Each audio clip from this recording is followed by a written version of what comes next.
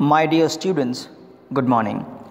This is Deepak Kumar, and today I shall be taking up the chapter The Necklace that is written by Guy de Maupassant.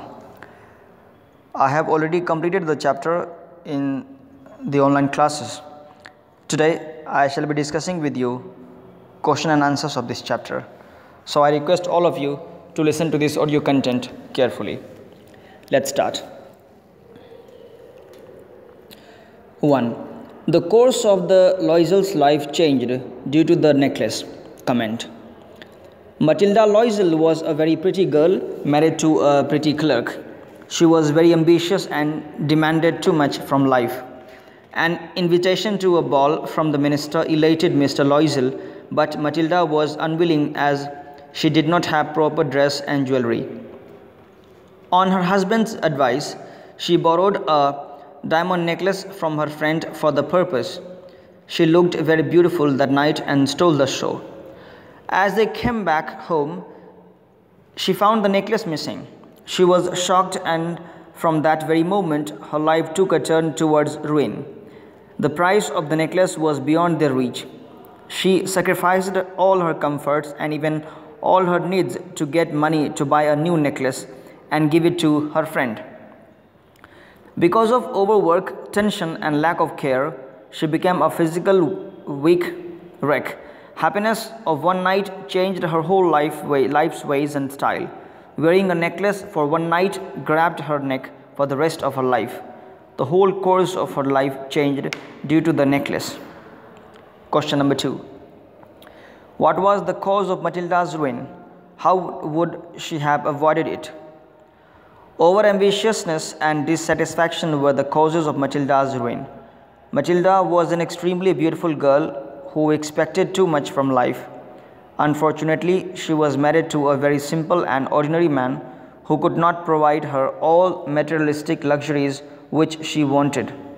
For a ball party in his office, she borrows a necklace from her friend and ruins her married life as the necklace is stolen that very night. Just to arrange money for the cost of the necklace, she worked too hard and spoiled her whole life. She could have avoided it if she had told the fact to her friend that she had lost the necklace. Her friend would have told her the actual price of the necklace as it was not a real diamond necklace that she could easily afford. By hiding the reality and actual facts, she ruined her life. Question number three. What would have happened to Matilda if she had confessed to her friend that she had lost her necklace? The course of Matilda's life would not have changed if she had confessed her confessed to her friend that she had lost her necklace. The life of Matilda and her husband was thoroughly changed just to give back the necklace. They sent away the maid to cut the expenses and worked day and night. She lost her charm and charisma as a as a result of hard work. But she could have avoided all these miseries and sufferings of such a long period if she had confessed to her friend that she had lost her necklace. 4. If you were caught in a situation like this, how would you have dealt with it? If I were caught in a situation like this, I would have dealt with it in a different way. I would have revealed the truth to my friend earlier to avoid the unwanted situation. But Matilda and her husband ruined their life by hiding the truth. By telling the truth to my friend and paying her only real cost of the necklace, I would have avoided all miseries and mental agonies that Matilda underwent. Next. After her meeting with Matilda, Madame Forestier is upset with what happened. She feels guilty for not telling her friend that the necklace was fake. She wishes to make some amends for, for the 10 years of suffering faced by Loisels. If Madame Forestier returns the necklace to Matilda, what value would it reflect? What would you have done if you were in her place? After her meeting with Matilda, Madame Forestier was upset with what happened. Madame Forestier feels guilty of not telling her friend that the necklace was not real. Matilda ruined her own life in paying for the necklace. Madame Forestier is a sensitive and kind lady. She helped Matilda by giving her the necklace. She could never imagine that her friend would undergo such a hardship for that fake necklace. After 10 years, after knowing the truth and reality, she must have been upset. She would have definitely returned the necklace to Madame Forestier. She was a lady full of compassion, sympathy, and kindness. If I had been in her place, I would have done the same. Next question. What could have happened to Matilda if she had confessed to her friend that she had lost the necklace? Uh, this question I have already already discussed, but still let me give you some uh, same answer in a different way. If Matilda had confessed to her friend that uh, she had lost her necklace, she would have avoided the years of suffering that had to undergo that uh, they had to undergo. She would not have become a physical wreck she could have paid her 500 francs easily, so it is quite necessary to be truthful and honest. Moreover, Madame Forestier was a kind lady and full of compassion. Uh, she would have forgiven her for the loss. Confession would have saved her from such hardships.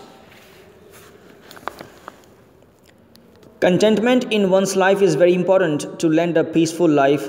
We should have we should be happy with what we have and should not crave for what we don't have. Matilda suffered in her life because she was not contented in her life. What do you learn from her mistake in, li- in, in life? Or, Matilda suffered because she was not content with what life has given to her. Do you agree? We, do you agree? We should be content with what life gives us. It is true that contentment in one's life is very important to lead a peaceful life, to lead a peaceful life. We should be happy with what we have and should not crave for what we don't have. Matilda suffered in her life because she was not content in her life. She was a pretty beautiful lady and married an honest and married an honest person. He was rich in uh, she was rich in values but uh, honest person. He was rich in values but mon- mon- Uh, monetarily moderate. Matilda was not content with his job and salary. She wanted to lead a luxurious life which he could not afford. Once she got an opportunity to attend a high profile party. She did not have a proper dress and jewels. She borrowed a necklace from her friend. She lost it in the party and had to suffer for a long for a long period of time just to pay for it.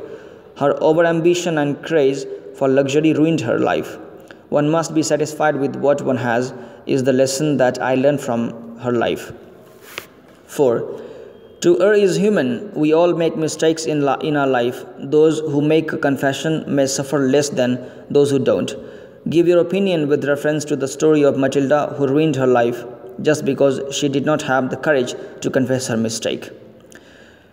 It has been rightly said that to err is human. We all make one or, one or the other mistake in our life. No one is perfect. Sometimes the situation is not in our hand. We make some mistakes and face losses. The same thing happened to Matilda. She was an overambitious lady.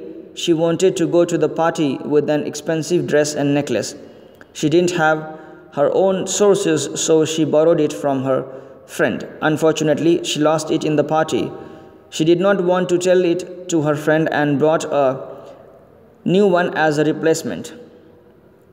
She was in debt and paid for it throughout her life. Her life was ruined. She came to know in the end, in the end that the lost necklace was not the real one, but it was too late. The course of her life could have changed had she confessed the loss. She suffered just because she did not have the courage to confess her mistake. My dear students, I again request you to listen to the content and if you have any problem, if you have uh, any question in your mind, you can you are free to ask ask me, right? Uh, thank you very much, dear.